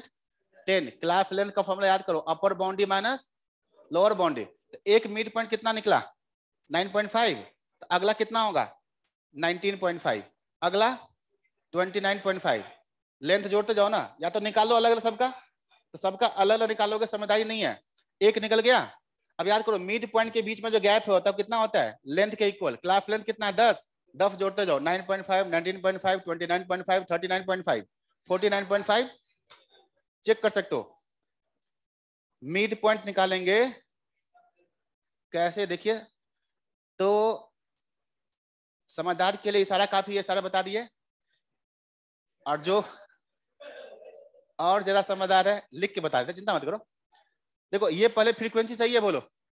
जिसको मैंने फ्रीक्वेंसी लिखा हो सही है? नंबर स्टूडेंट फ्रीक्वेंसी है। अब हम लोग क्या करेंगे? इसका मिड वैल्यू निकालेंगे। अच्छा क्यों निकालेंगे मिड वैल्यू हमें मीन चाहिए। ग्रुप फ्रीक्वेंसी डिस्ट्रीब्यूशन है। मीन का फॉर्मूला क्या था? सिग्मा एफ़ इंटू में एम मिड पॉइंट तो चाहिए। तो बताओ, इसका मिड पॉइंट कितना होगा? तो five plus fourteen nineteen by two कर लो। कितना निकला? नाइन पॉइंट इसमें कोई दिक्कत? अच्छा किसी के मन में क्वेश्चन आ रहा होगा कि सर मिड पॉइंट निकाल रहे हैं, ये गैप पहले खत्म तो कीजिए। तो मैं बोलना चाह रहा हूँ गैप खत्म कर दोगे भी ना, तभी आंसर सेम ही आएगा। लिमिट से भी मिड पॉइंट वही आता है और बाउंड्री से भी वही आता है। अच्छा एक निकल गया। अब इसको जोड़ के दो से डिवाइड करो। पंद्रह प्लस करो आराम से कैलकुलेटर में। पंद्रह प्लस चौबीस ट्वेंटी फोर डिवाइड में टू कितना आया? Nineteen point five. और अब मैं क्या बोल रहा हूँ कि ऐसे जोड़ जोड़ के क्यों निकाल लो इसका क्लास लेंथ कितना है? टेन। क्लास लेंथ टेन है, याद है ना? तो क्लास लेंथ टेन है तो मिड पॉइंट में भी तो गैप टेन का ही होगा। मिड पॉइंट में जो गैप होता है, वो क्लास लेंथ के इक्वल होता है। तो एक निकल गया तो दस दस जोड़ते जाओ। या फिर सबका निकालो अलग अलग क्या दिक्कत है? इसका mid point twenty nine point five, इसका फोर्टी नाइन पॉइंट फाइव और ये fifty nine point five. Mid point भी आ गया, यहाँ तक तो कोई दिक्कत? अब बताओ। अब हमारा आंसर कैसे निकलेगा मीन? इसको मल्टीप्लाई करेंगे। एफ़ इंटू एम मल्टीप्लाई करेंगे, सबको जोड़ेंगे। और किससे डिवाइड करेंगे? एन फ्रीक्वेंसी का जोड़ फ्रीक्वेंसी का जोड़। ऐसा करो कैलकुलेटर में पहले एन निकाल लो। ये बताओ फ्रीक्वेंसी का जोड़ कितना? 110 ये 10 और 18 28 और 32 60 और 26 86 और 14 100 और ये दस, एक सौ दस। अब हमें और क्या चाहिए? Sigma F into M. मैं बोल रहा हूँ, अगर ये क्वेश्चन एग्ज़ाम में आ जाए तो कम से कम चीज़ लिखना है, ऐसे लिखना है। पेंसिल यूज़ करना, ऐसे करना। अब इसको मल्टीप्लाई करेंगे और ऐड करेंगे। तो देखो मल्टीप्लाई और ऐड करने का तरीका क्या है? ओके तो देखो, मैं क्या बता रहा हूँ? यहाँ से आपको दिखाई नहीं देगा बट इशारे से आप देख लेना। दस मल्टीप्लाई में ये लिखेंगे ten multiply nine point five equal कितना किया? अगला मल्टीप्लाई अठारह multiply nineteen point five equal कुछ और मत करना, ऐसे इक्वल करते जाओ। अगला मल्टीप्लाई बत्तीस multiply twenty nine point five equal equal करके छोड़ देना बस है और कुछ करना। फिर क्या है? छब्बीस multiply thirty nine point five equal फिर fourteen multiply forty nine point five equal last दस multiply fifty nine point five equal हो गया इक्वल अब सबका जोड़ चाहिए ना? तो जीटी दबा दो। जीटी का मतलब होता है ग्रांड टोटल उन सबका जोड़। जो जो इक्वल किए ना दिस इंटू दिस इक्वल किए दिस इंटू दिस इक्वल किए तो इक्वल पे जो जो मिला ना, उसका जोड़ चाहिए। तो जीटी का बटन है कैलकुलेटर में जीटी दबा दो। तो क्या मिला? Three seven zero five check करो। कैलकुलेटर पे चेक करो। थ्री सेवन ज़ीरो फाइव किसी किसी कैलकुलेटर में जीटी क्या बोलो? नहीं होता है ना?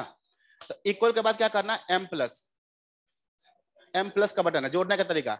जब जब इक्वल करोगे ना तो M plus equal M plus equal M plus equal M plus अब फिर सबका जोड़ जो होगा ना एमआरसी है एक बटन एमआरसी तो उससे आ जाएगा। करो, अभी चेक करो। जिसमें जीटी नहीं तो क्या करो? इक्वल के बाद M plus equal M plus मतलब एक जगह जोड़ रहे हो आप, उसको एक जगह जोड़ रहे हो। एम प्लस का बटन है। उन सबका जोड़ के लिए एमआरसी का बटन है एमआरसी तो सबका जोड़ आएगा। तो जैसे आप करोगे तो ये निकला थ्री सेवन ज़ीरो फाइव। इसको डिवाइड करोगे एक सौ दस से। तो thirty three point six eight. कौन सा ऑप्शन आएगा? ऑप्शन सी इस तरह का ये जीटी वाला फ़ंक्शन एम प्लस वाला फ़ंक्शन एम माइनस वाला फ़ंक्शन आप सबको आना ही चाहिए। इसके बगैर कुछ नहीं है। यस जीटी वाला फ़ंक्शन यूज़ किया आपने? देखो चेक करके आ रहा है।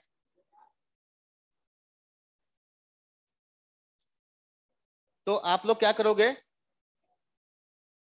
इसके ऊपर अप्लाई करो। इसमें भी क्या पूछा है? मीन एंड मॉड तो मॉड तो भी नहीं पड़ा है मॉड को साइड करो। मीन निकालो, इसका मीन निकालो। इसका मीन ये फ्रीक्वेंसी है। सबका मीन पॉइंट चाहिए? इसका मीन निकालो। पहला पहला मीड पॉइंट कितना आएगा? 350 प्लस 369 इक्वल डिवाइड में टू इक्वल। ये निकला three five nine point five. ठीक है? अब बताओ, क्लास लेंथ कितना कितना है सबका? क्लास लेंथ कितना है? 19 को 20 बना दो। 19 नहीं बोलना 20 है। अरे बाउंड्री का डिफरेंस होता है ना। क्लास लेंथ जो है, वो गैप अपर बाउंड्री में से लोअर बाउंड्री करते हैं ना। क्लास लेंथ बाउंड्री के डिफरेंस मिड पॉइंट तो इससे भी आ जाता है, उससे भी आ जाता है। इसीलिए हम लोग ऐसे काम चला लेते हैं। तो क्लास लेंथ कितना बीस। तो कैसे क्या करोगे? सब में बीस बीस? ऐड करो। Three seventy nine point five three ninety nine point five. ये चार सौ उन्नीस पॉइंट पाँच। चार सौ थर्टी नाइन पॉइंट फाइव। चार सौ फिफ्टी नाइन पॉइंट फाइव। अब मीन चाहिए तो कैलकुलेटर यूज़ करो। जीटी है तो जीटी यूज़ करो। एम प्लस है तो एम प्लस वन यूज़ करो। क्या करोगे बताओ? सबसे पहले ऐसा करो, सबसे पहले एन निकालो एन जिससे डिवाइड करेंगे, उसको निकाल लो। तो एन कितना? पंद्रह प्लस सत्ताईस प्लस इकतीस प्लस नाइनटीन प्लस तेरह प्लस में छ कितना? हाँ? है ऐड करो। हाँ? क्या चीज़ क्या चीज़? एम प्लस कुछ भी नहीं है, किसमें? फ़ोन तो अलाउड भी नहीं है ना? अलाउड तो कैलकुलेटर है ना? फ़ोन थोड़ी अलाउड है। कैलकुलेटर से करना है। फ़ोन से नहीं। फ्रीक्वेंसी को जोड़ के बताओ कितना? कोई एक सौ ग्यारह। हाँ अब निकालो। क्या बोले बोलो हाँ? लिमिट से ही करे तो पॉइंट तक हम क्यों जोड़ेंगे ओ आप समझे नहीं। बाउंड्री सर तो किया है ना सर। लिमिट सही करा इक्वल तो आता बाउंड्री और इक्वल इक्वल नहीं आता है ना सर नहीं आता इक्वल मीडियन हाँ? इक्वल नहीं आता। इक्वल देखो ये एक मिनट रुको सुनो। ये है सही सही में कैलकुलेशन हम किससे करते हैं? इससे करते हैं। मेन ये चीज़ है। हाँ, ये सर। यहाँ से लेंथ कितना आता है? नाइन यहाँ से लेंथ कितना आता है? टेन तो इससे तो हम नहीं करते हैं। गलत है ये। ये सही है। मिड पॉइंट यहाँ से भी आ जाता है सेम यहाँ से मिड पॉइंट निकालो. इसको जोड़ो. ट्वेंटी नाइन बाई टू करोगे तो फोर्टीन पॉइंट फाइव आएगा. यहाँ से मिड पॉइंट निकालो. यहाँ से भी फोर्टीन पॉइंट फाइव इसीलिए हम यहाँ से भी निकाल लेते हैं. कोई दिक्कत नहीं लेकिन सच्चाई तो यहाँ से है ना? बाउंड्री से निकलता है ना? यहाँ से टेन आता है. तो टेन बोलोगे. अब मिड पॉइंट हमने यहाँ से क्यों निकाले? क्योंकि सेम ही आता है. फ़र्क नहीं पड़ता. दोनों से सेम ही आता है मिड पॉइंट फॉर्मूला फॉर्मूला लिखा था ना मिड पॉइंट का? Upper limit lower limit by two या upper boundary lower boundary by two लेकिन क्लास लेंथ का जो फॉर्मूला लिखा था, उसमें upper boundary minus lower boundary लिखा था। तो लेंथ हमेशा बाउंड्री के ही डिफरेंस निकालोगे। इसलिए वो 90 नहीं 20 आएगा। जूम नहीं करना है। हम लोग जब भी कैलकुलेशन करते हैं तो लिमिट से नहीं करते बाउंड्री से ही करते हैं। बाउंड्री से ही करते हैं। ठीक है? वही यही तो है कंटिन्यूस सीरीज़ कैलकुलेटर नहीं है? कैलकुलेटर क्या? अरे, अभी की बात कर रहा घर पे तो सबके पास होगा। कैलकुलेटर है ना? हो। देखो, एक कैलकुलेटर आपको तो खरीदना ही पड़ेगा। डेढ़ सौ, दो सौ रुपया खर्च करना ही पड़ेगा। और उसके ऊपर प्रैक्टिस करो, वही कैलकुलेटर आप एग्ज़ाम में भी लेके जाओगे। ठीक है? तो मैं मल्टीप्लाई करता हूँ और यहाँ पर लिखता हूँ, ये आया कितना? 111 ठीक है? अब अब क्या निकालेंगे देखो? Sigma F M. तो रिफरेंस के लिए मैं पढ़ता हूँ 359.5 मल्टीप्लाई में 15 इक्वल अब एम प्लस करेंगे तो टाइम लगेगा। तो इतना ही से हमारा जीटी है तो काम चल जाएगा। दूसरा है 379.5 मल्टीप्लाई में 27 इक्वल 399.5 मल्टीप्लाई इकतीस इक्वल चार सौ उन्नीस पॉइंट पाँच मल्टीप्लाई में 19 equal four thirty nine point five multiply में तेरह equal four fifty nine point five multiply six equal G T ये मिला four four four, six point, six नहीं, सिक्स, फोर पॉइंट फाइव ये मिला हुआ है। अब इसी को कैलकुलेटर में डिवाइड कर देंगे। डिवाइडेड बाई एक सौ ग्यारह इक्वल ये मिला मीन चार सौ पॉइंट फाइव एट। ये आ रहा चार सौ पॉइंट फाइव एट। क्या चीज़? ओहो अच्छा अच्छा। सॉरी ऑप्शन बी या ऑप्शन अब इस क्वेश्चन में मीन से फैसला नहीं हुआ है। मीन से फैसला यहाँ पर मॉड निकालेंगे, तब फैसला होगा। हाँ ठीक बता रहे हो? मुझे लगा कि हो गया शायद, ठीक है? तो यहाँ पर मीन आ गया। अब इसका फाइनल आंसर पता कब चलेगा? जब मॉड सीखेंगे।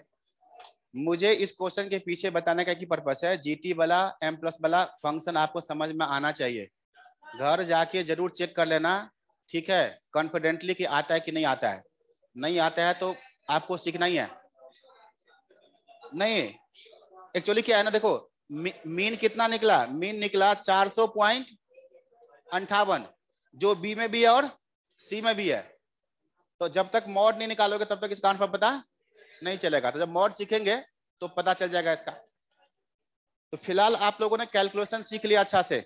ठीक है? बढ़िया से रिवाइज करना। अभी टाइम आ गया दो दिन का। तो जितना स्टार्ट है शुरू से लेके आखिरी तक पूरा रिवाइज करना।